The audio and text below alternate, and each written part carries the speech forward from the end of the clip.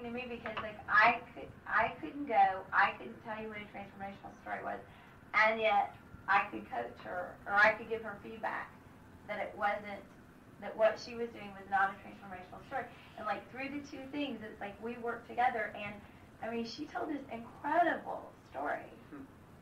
It was just I mean it was just amazing. See, now we all want to hear this. That's story. right. That's what I that's what I want. I want to hear the story. It's for women only.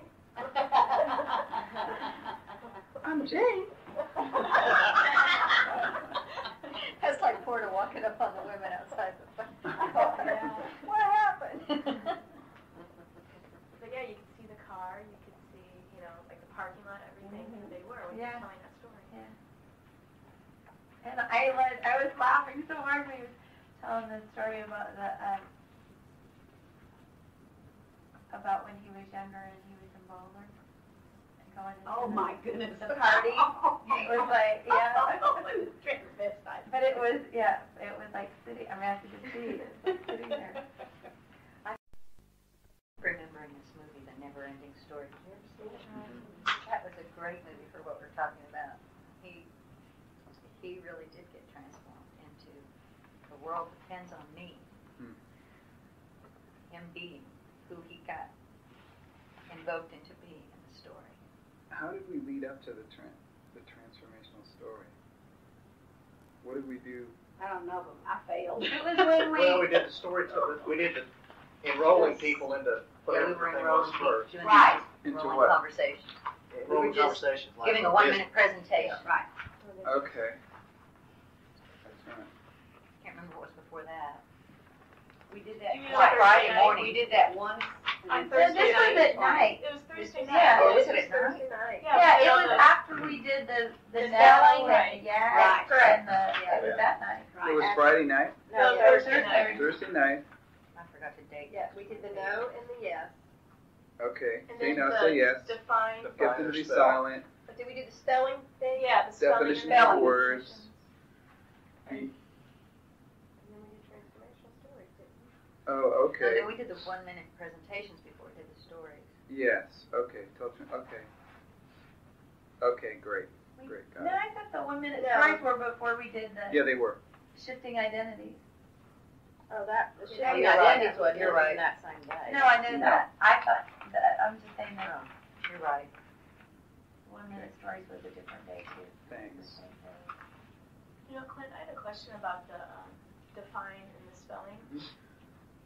Uh, Betty Lou and I were talking about this this morning, that when we were asked to define something, that's when you feel it in your body, like you could define something. Mhm. But when I was asked to spell something, I went to my head to figure out the spelling. Was that the the reason for that exercise to see the shift between your head and your body? That exercise has a lot of reasons. Okay. Really, a lot of reasons. Like, do you do you still feel the coaching that you got when you were saying um, uh, the stalling, the repeating back the thing? Yeah. Spell what? You spell Eucopolis? Yeah. Well, I spelled everything wrong, so. Yeah. Like all this stuff that comes up, Oh, yeah. and it's that's how we're interacting with the world. Like all that stuff is is coming up all the time, rather than being present. So it really gives you an opportunity to just get right there and get in your body. And it's actually your body that spells also. Like your mind we don't use for much actually. Because I kept trying to visualize the word. Yeah.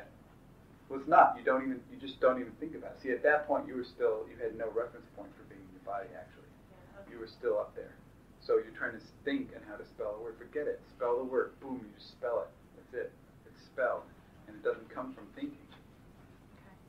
What you know, define rose, define potato bug. You know, it just comes out. So that yeah, there's a lot of purposes in that. And do you remember those exercises? Did you ever do those? Oh, you didn't. Now with Bob Miles, you didn't do those. You didn't. You weren't in a communications class we did. All I remember is the pencil trying to get that across the room with ten people yelling at you. What? Tell me that. Tell me. But the idea was when you're on the ocean, you have to be fairly clear because this stuff happens on the ocean. Like the wind comes in, you break booms, you know. Uh, so the intent was to be present body, in your experience. But everyone was supposed to distract you, and you're supposed to take a pencil from one person from one point of view and to the other person the other, and you had 15 or 20 people yelling, screaming. They couldn't touch you, but they tried to distract you through words, intention, movements, and so forth. That was that. Was that. So you're just trying to walk through the room with this pencil. Right, and everyone was trying to distract you from getting over there. And the other person would move, too, when you had to get the pencil, too. No. So, right. So you take it from one person to give it to somebody else. Right. You had to use your voice to get the pencil, and you take this, or Well, you couldn't use your voice at all. You just had to be there looking for the other person. People would try to draw you out through humor. Well, through humor, through, uh, yeah, they would So they would yell. just try to hook you and Try to hook you you. Right, right. So, yeah, so they would try to hook you. The intention is to try to just stay in your being, try to find that person. That, that was the idea. Sounds like bull baiting with pencil. when when we this with this, this communication exercises, there was this one where she was just trying to get me to say something, anything, and so all the normal stuff didn't work, and so she was doing this other thing. She pulled out this pack of cigarettes, and she, I, you know, at that point I was I couldn't handle cigarettes at all. She stuck one in my nose. I'm sitting there with this cigarette in my nose, like, and I was shaking. I mean, I was like shaking because I just my whole being, I was just trying not to say anything. Oh man. she goes afterwards. Did you know you were shaking?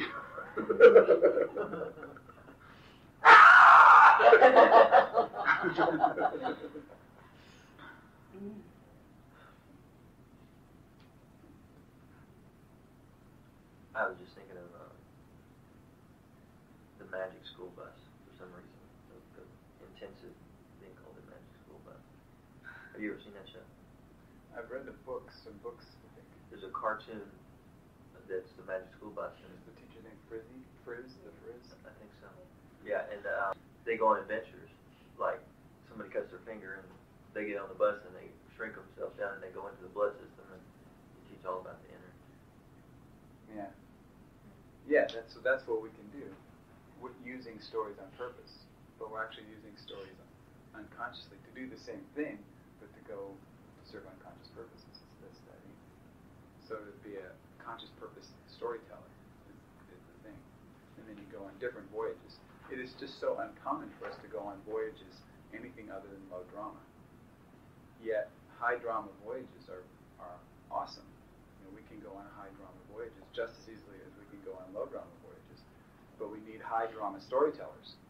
So that's our job in the world is to be high drama storytellers. And that's what we're calling creating possibility. Really a high drama storyteller. Transformational storyteller. So you're saying the story comes from your body through your mind to the other person, or are you actually taking the person into, into you? They're taking their mind into you, and they're experiencing something from you. I don't know. I know it's an energetic thing.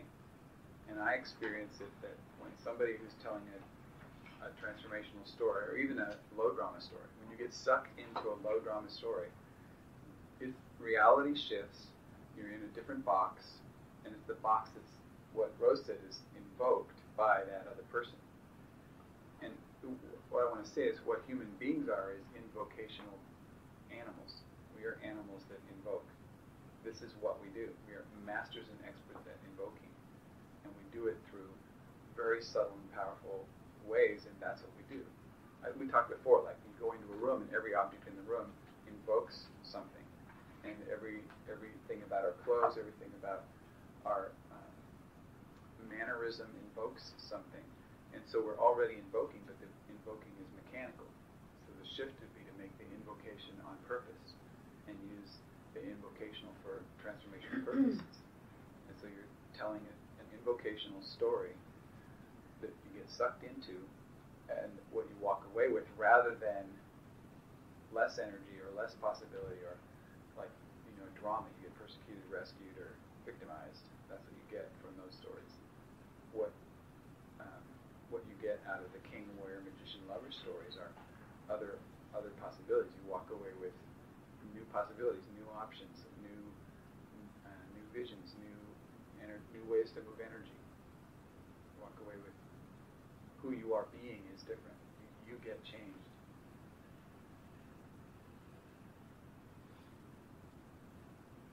And that's who that's who we're being trained to be as transformational storytellers. I mean, Nancy, what you do professionally hmm. is you are a transformational storyteller. Yeah. You probably don't look at it that way, but people come to you, and what do they come to you with? A problem Yeah, what- shipped, Was it a high drama or a low drama? a low drama. Yeah. And so you're going into a low drama situation, and your job is to reinvent reality hmm. by telling invocational, high, high drama, transformational invocation story. And then they, they have a new reality to function in that you gave to them. You, op- you made this space for them to come in with you into that space where reality is different from where they were before. And as, as long as that reality can stay with them, then they can have new possibilities. And if the way that that new reality stays with them the best is if you tell a really good story with it. And they, it just kind of goes into them. And then they can walk away and be in their lives differently. So when you walk down the street, like there's all of these things trying to get your attention to tell you a story, you will be happy, wealthy, and with a fantastic lover if you buy Fords. Know, and that's trying to get your attention. That is a story that's trying to get your attention. The radio comes on and says, and here's the news in Botswana land, and, and buy aspirin, and this will solve the war in Botswana land, or whatever the, you know, all these forces are out there trying to get our attention and to suck us into these stories, and pretty soon you you, you have you start to develop an aversion to, hey, this is my attention, and I don't want to come home contaminated with all of these stories that are for low purposes. I want I want an environment, you know, I want to filter that out.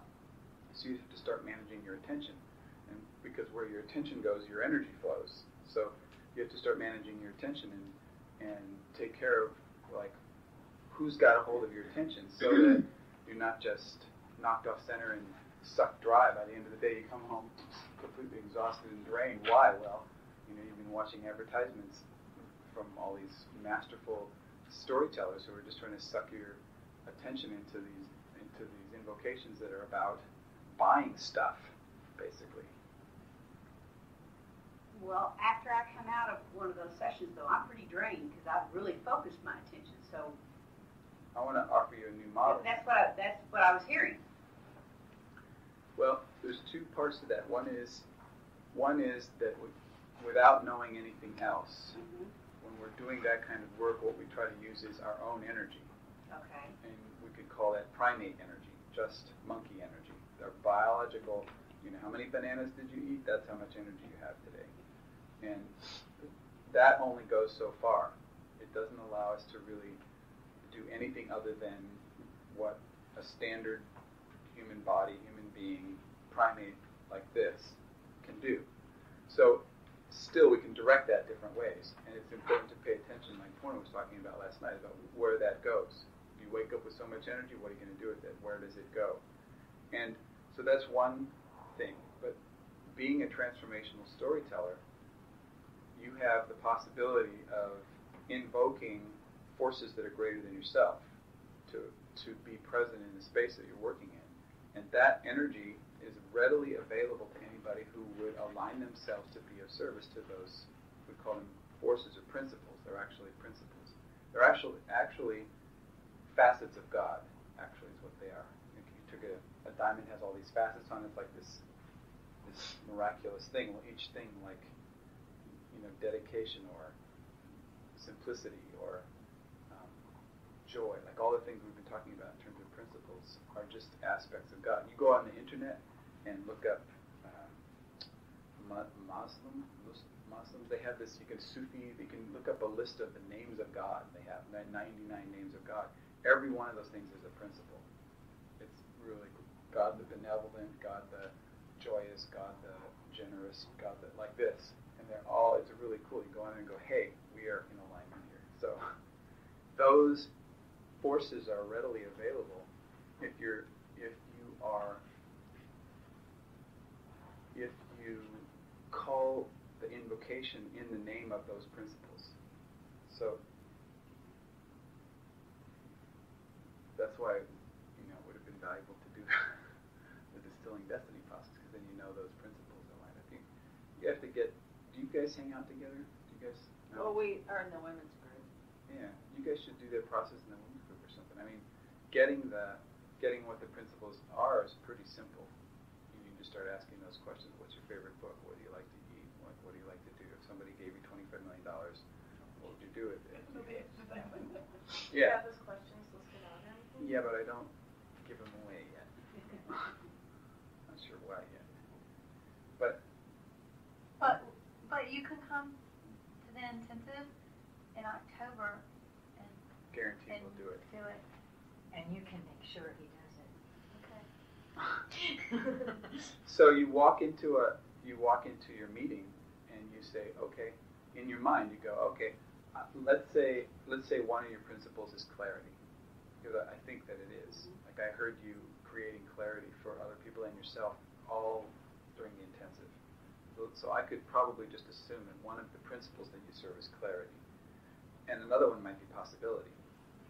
So I'm not sure, but that in the business you're in, that you guys that's what you're that's what you do. So let's assume one is clarity. So, I'm, so you walk in, you go, okay, in your mind, energetically, you go, okay, hey, I am in the service of clarity. I'm calling this meeting together. We're having the three of us now, whatever, in the name of clarity. That's who, that's who I am here. So all of a sudden, the name is, the meeting is called together in the name of a principle. And that's the diagram that we drew, the third relationship diagram, where you had the two people being in the middle was this gap, and in the gap where the conversation could happen about principles. The principle was, in this case, clarity. So then what happens is, is you, uh, there's another picture that I can just draw right here, which is uh, what you're doing is um, you become a space because you're doing you're doing adult listening. So who you are is a space. So here's the other person, you know, and they're they're talking whatever, but then then it comes time for you to talk. So if you're a space, who's talking? There's nothing there, what's talking? So there's actually something like this, where this up here is the principles, and this you actually get to speak from your underworld. Actually, is the archetypes. So who's speaking then? Isn't you? So you are speaking as a space. So that's that's what you're actually doing. You can tell this. It's like when you're doing mediations, or if you're running a meeting, or if you're doing something that's on. mm-hmm. It's on when you're not there. Do you know what I'm talking about? Yeah. The best stuff happens when you are not there. Absolutely. When- I know what you're saying. You're just talking. It's just going. It's just coming out, and it's serving them. It's just really working. Well, are you are you sourcing that? Mm-mm. Mm-mm. It's not coming from Nancy. It's coming from either the principles that you're serving, Mhm. which so you're actually uh, the space through which the principles that you serve can do their work. Okay. That's who you are. So that's why at the top of the uh, pyramid of identity, the top one was I am, but I am equals space. So then that's that in our model, the way we would do that is the I, there's really no I, it's just am.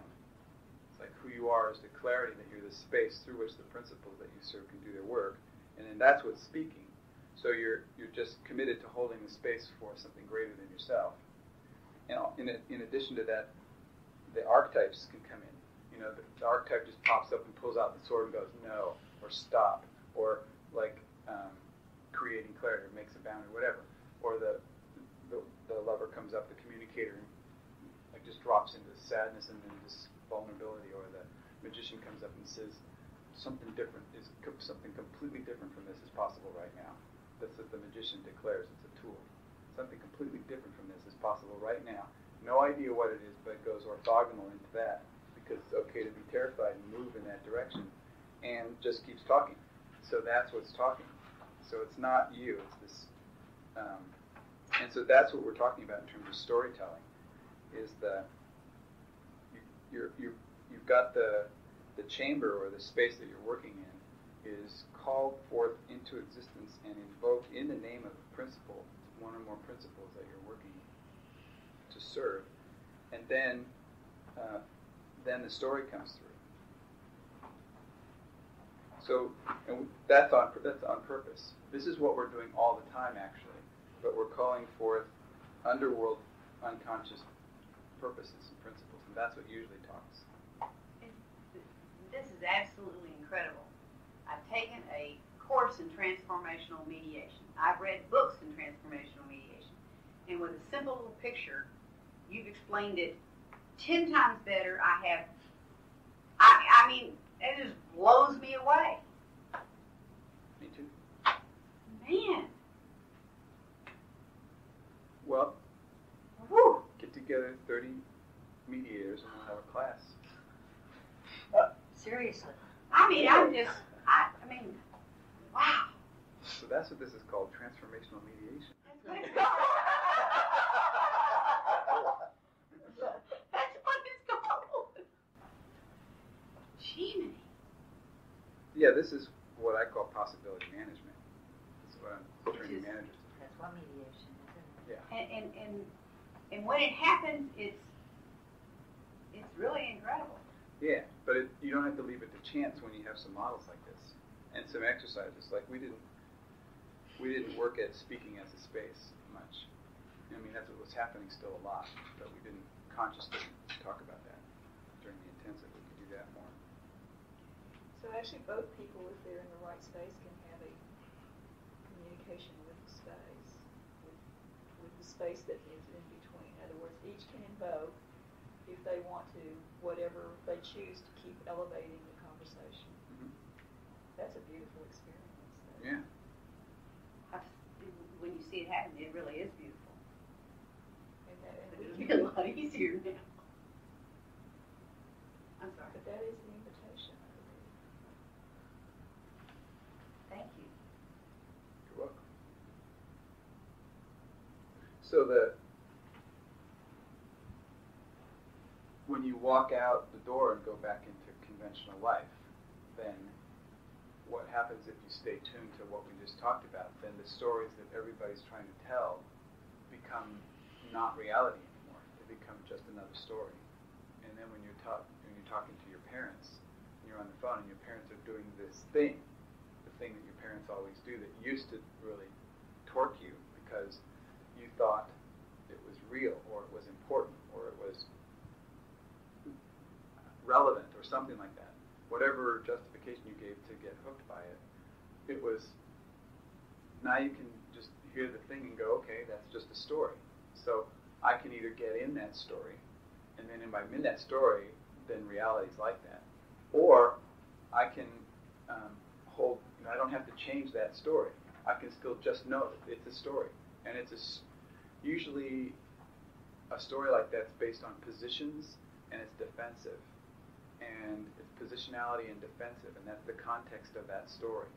So what's being invited here is for us to be telling stories not in a defensive, um, positional context, but in an expansive rather than defensive, and principle-based rather than um, positional-based story context. So it's a completely different context.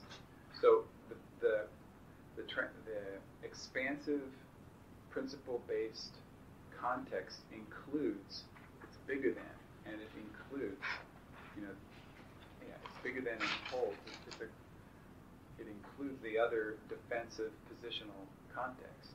So um, it's bigger than it it's more fluid than it and it subsumes it. So if you if, if you refuse to get hooked into a smaller conversation.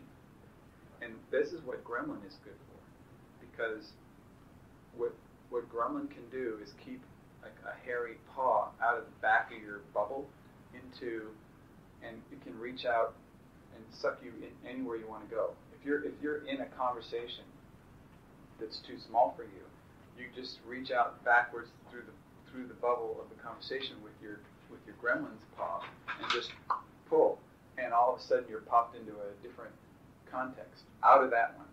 And you can choose which one you go into or you can just pull out of it. Because the gremlin can destroy any space at any time for no reason. That's what gremlin is masterful at. Chaos destruction i win you lose. Fuck you i win you die. It's like that's what gremlin is good at. So you can use it to serve you in some circumstances like this. You just say, Gremlin, get me out of here. And the gremlin just pops it out. And you don't have to kill the other person, but if they're in contact with you, they're in contact with you while the story is going on, and you, you go backwards 90 degrees out of relative now, so you're, you're popped into a, an orthogonal space, they're with you because they're in contact with you. They're, you're in, they're in contact. You, you reach out back, you stay in contact, reach out backwards and pull like this, and all of a sudden we're having a conversation about something completely different from that in a different context. And they don't know the shift actually happened because they're with you. So is that what you do? You change the subject? Yes. That's okay. Okay. Yeah, exactly. And I think, I think one of the best ways to, to do it is a question. Questions are totally a tool for that. And those real questions we were talking about, Mm-hmm. yeah, which are hard. Well, Well, a I hammer's mean- hard. I mean, Pardon me? a hammer's hard. Yeah, It's just a tool. right. It's just a different. Yeah. But and, and like even in the demand or when you're doing your process, that is what stumps you because you're stuck in that story and that question gets asked and all of a sudden that's blown away. It doesn't even exist anymore because and you say, Where am I? And you have to think about that question and all of a sudden you start creating that world and what's possible and That's why people refuse to answer the question so often because if they answer the question, they have to go there. It's great to answer And the all of a question. sudden you're on the floor. tearing up contracts. How did I get here? I only wanted to talk about Vicky. How did I get here? Thank you, Vicky. She's sitting here for you. Always ready to serve. So life becomes a lot more fascinating when you're involved in taking responsibility for the stories that, that you're involved in, rather than being a victim of the stories or unconscious about the stories. Then you're the creator and the source of the stories, and regardless of the circumstances, you can invent whatever story you want. That's that's a major thing. That we usually think that we can only create a certain story because of certain circumstances. But the truth is that we can that we can create stories that are independent of the circumstances. We can create conversations that are completely independent of the circumstances. So you know, that's why there are some stories about, for example, people who were locked away in Nazi prison camps and dying, you know, from starvation and exposure to the elements, and them having these incredible lives in there, and relationships in there, and or getting out of there, you know. One, you know, in amazing ways that were just not possible in a linear, identified, based on circumstances conversation. So we all have those powers available to us if we, we want to load the software for that. Orthogonal, transformational, invoke stories, storytelling. You know, do you have a, is there a, what would your suggestion be about how we could continue to work with that or accelerate that even in camp meetings? That would be cool. How could we use that? How do you think? Well, we've talked about having, we've talked about and intend, I think, after this, to start with a different way of check-in. So would it relate to that? What is that? Well, I can think of a lot of different things, but I'm inviting you to create it because if I if I created Not necessarily. yes and What would you, how would you want to do it, David? I don't know. I just think there's, I think so there's you can a I big invite you to do it right now. What about the, what about using the can fictional create- character? create it orthogonally? Like, let it be your way, you know. What- what 'cause you got- What would, a great fictional- idea. what would the fictional character check-in do? Come in and Andy. Oli, What Xeno. would be fun for you? Well, I just, I'm just, I don't know. Uh,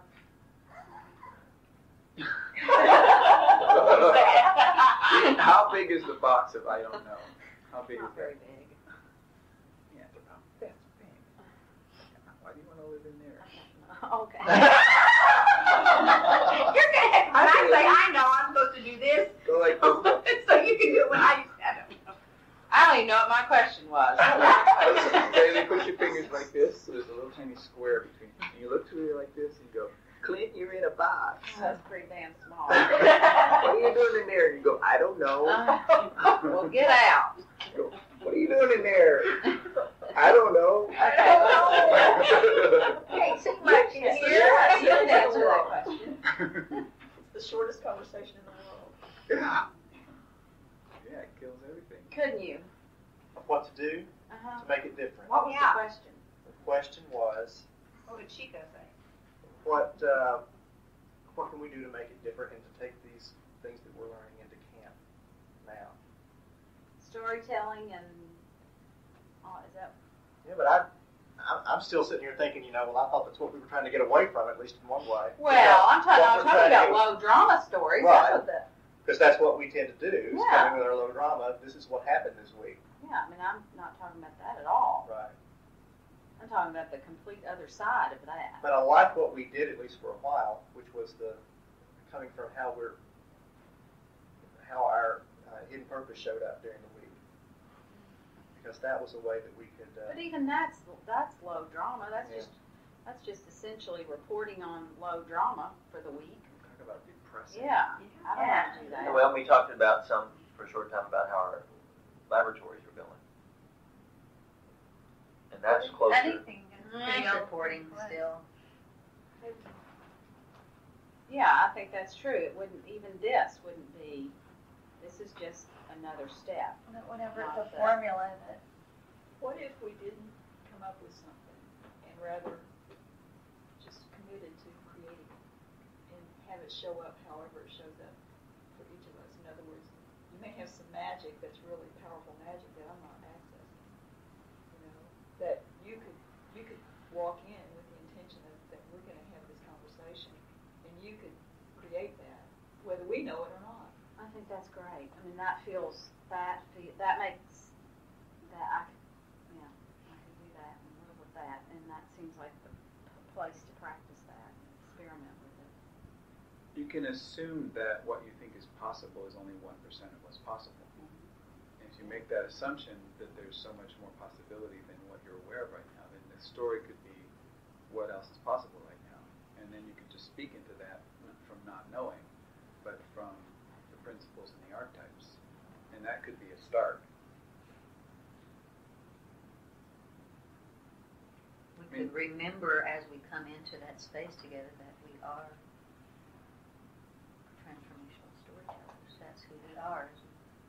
Just to remember that. Hopefully, that's not that we don't just do that there, but that we remember that as we walk in the door. See, how do we get into this conversation now? See, in part, there needs to be a listening that's capable of holding such a conversation. So we've been building a listening for that kind of stuff for a couple of years. And then there are some people who are guests here who haven't heard these conversations before, and but but they're not just they're they're trained guests, they're elegant guests, they're um, safe guests, they're so I'm not hitting the right word. It's like they're qualified. Yeah, People- they don't. We don't have to diminish and scale down the conversation Yeah. to accommodate. We have had unqualified guests Right. in here, and then the, the conversation is kind of limited to making it safe for them, so they can go back out into their lives and not kill somebody. Just that, you know that they don't Or us. or us. There's always that possibility. yeah, but how did we do it? Well, first, first we um, got present. So the way we were getting present was we were just unloading. You know, I invited us to unload anything that wasn't complete from the weekend, from the intensive, and then people kind of started to do that. And then that was, and I had a little black hole in the room, and I was flushing the black hole. So that was all brought in and mm-hmm. flushed down. So we had a clean space again. We were continuously working in a clean space, and then, then at that moment we were present enough to originate an, a new conversation here. So that's part of what you have to mediation too, is to get people present. And so there's, uh, I'm sure you have methods for doing that. but the second part is far more interesting. You have to do, you have to take out the garbage before there's any space for something new to originate. And you know, you can do this in any meeting that you have at work. See, this is what, this is the kind of meetings that would turn people on at work. If a, if a manager or anybody had this kind of a meeting, you'd have inspired team because they'd have possibility. Whereas if you come into a meeting with an agenda and here's a, you know already decisions and here's the information, it's like like that. People just are gone. So so the way we did it was by coming by getting present and then um, being as, like what I do is I just I have to wait around until I'm gone and then when the thing that I'm serving shows up, then I don't have to worry about what happens next. So, oh, it's taken, it takes some time to get used to that, some time to just, um, even though you don't know what's going to happen next, know that something will happen next that will be, be necessary for work. A lot of times, I've given up coming to these meetings with any kind of a thing that I want to say, usually because guys usually need something different from that, and I, then I get disappointed. or it's a distraction. We Right. we're going to do this. but, but anyway, but on the other hand, you can you know you can go in and see. What I'm saying is what you need may be different from what I want to give, but that's the I. So then there's something else uh, that can come through, which is what is appropriate and needed and wanted by what's being called here. So on the other hand, last Thursday night when we met, I just um, flushed the toilet really fast, disallowed anything else, and said what I wanted to say. But it wasn't really what I wanted to say, it was what I had instructions to say because it was just something that needed to be delivered so we could work with it later on. Anyway, the, the reason I'm saying this kind of stuff is because, you know, we're not going to see each other, or I'm not going to see you guys for a while, and I'm hoping that you'll experiments like this in your everyday life with every conversation that you have on the phone or at work or in meetings or wherever that you are with new people, you know, that you meet at a, you know, at the post office or wherever you're talking to people or with, you know, your parents or older people or the people that you, anybody that you're talking with, being with, what, what's the, what's the transformational con- conversation that you're invoking into the space in that time? Like, are you, if you are ever feeling depressed, you are ever feeling tired, it is probably because you're not creating transformational stories in the space. It's probably because you're pretending to be a victim of the space. So it's really easy to tell where you are on the map by your experience. If you're uh, shut down, cramped up, uh, feeling depressed, feeling disappointed, feeling sad, feeling weak, feeling like any of tired, any of those things, that is the condition of not creating. And when when you are involved in creating a transformational invocation story, telling that kind of a story in the space, if you're sourcing that, you are not. You know, your um, depression or fear or overwhelm or victim conversation will just vanish superseded by the principles that are speaking through you and archetypes that are speaking through you. And that's why that's why I love enrollment conversations. That's why I love talking to people about possibility is because uh, I just get bumped out of the space and something else happens and like it's great. It's better than strawberry pie. so it's better than you know it's it's often described as the state of being in love.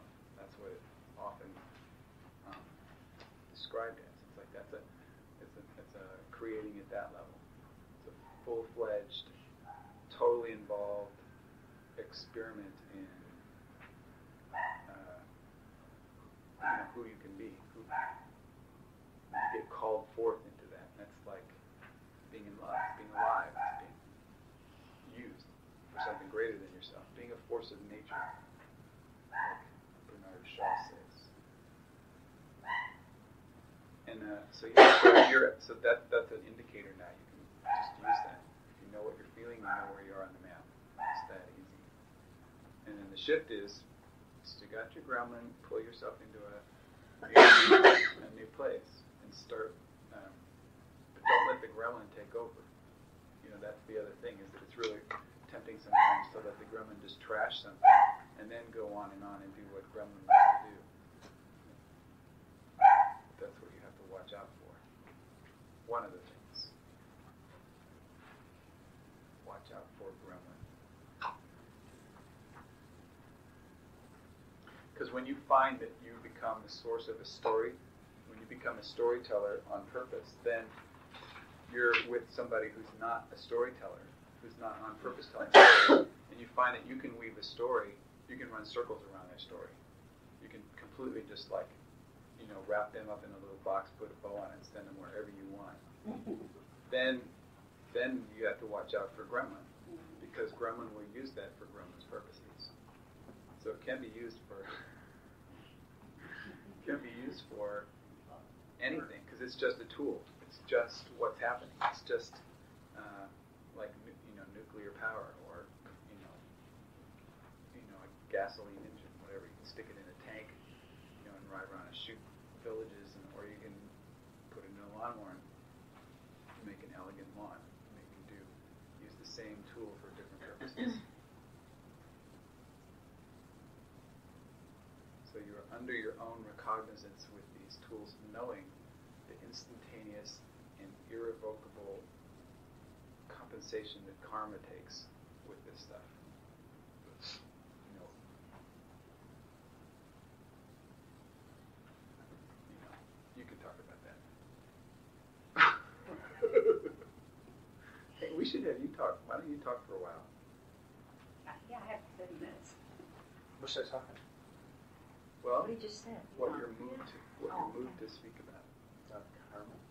No, what you're moved to talk about, because you have such a rich background with your meditation tradition and just the work that you've been doing with people and all that stuff. Well, what I find very interesting is how um, you give tools and awareness to the group. And, and what I find is that uh, some of the words and terms that you use are similar to some of the things that I'm aware of, yet you have an extremely succinct way of bringing it down pragmatic level to create it as a very clear way to be.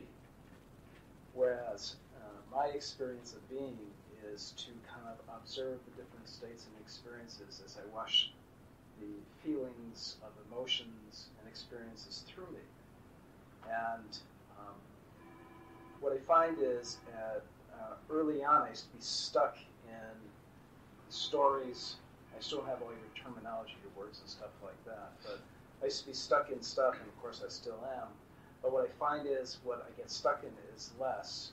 I still get stuck in it, but the energy there is diverted into kind of a new place where there's more spaciousness, and they'll come up and they'll come through like waves, I an opportunity to experience and feel and see them.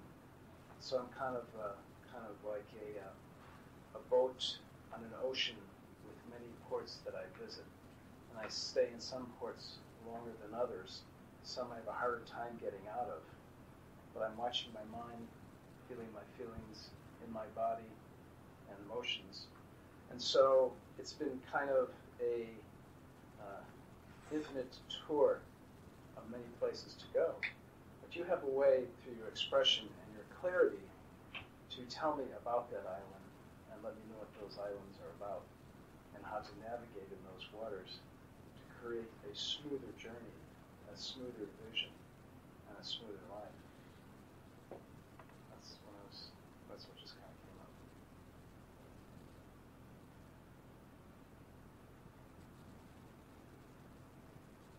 Will you tell us a little bit just about your uh, meditation studies? Um, the basic meditation practice I've used is a thing called Vipassana. Has anyone heard of Vipassana? I've been with some, a teacher who's taught me some things about that. Can I ask who that teacher was? Mary, um, I can't recall her name right now, but she, she travels along the East Coast and, and, Hmm. uh, Maybe from Barre, Massachusetts, maybe Insight Meditations. Um, there's different forms of vipassana. What it means basically is mindfulness and uh, the experience of the moment to feel things fully, acknowledge what's so, but be equanimous with it. So we have charges on these different aspects of our experience, and through time, uh, we release them, but we don't use the mind.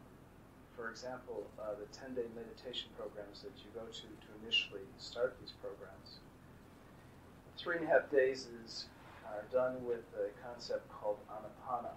And what anapana is, uh, a, con- a technique to slow your mind down. And basically, what you do is you feel the breath come in and out of your nose for three and a half days. And whenever you have a, a thought, or you're aware in a thought, is to come back to the feeling of the breath. The Breath is natural. It's in, it's out. It's with.